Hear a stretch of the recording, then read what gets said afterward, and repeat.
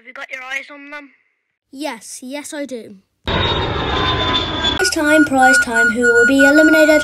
We got a total of 19 votes, a new record. But as you can see behind us, we have some recommendees watching this big event, the final elimination. Anyways, Polygranite is safe with only six votes. That means Watermelon is eliminated with 13.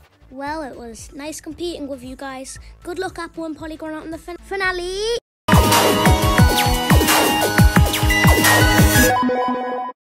Anyways, today's challenge is to climb up that really tall mountain and retrieve the IDK.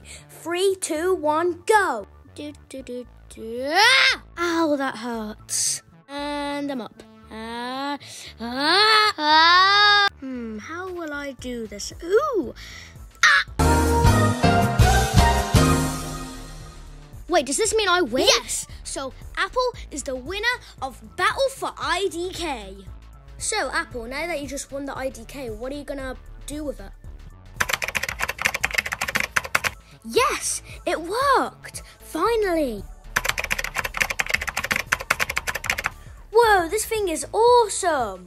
And you're under arrest. Now come over here so I don't need to zap. He'll be fine.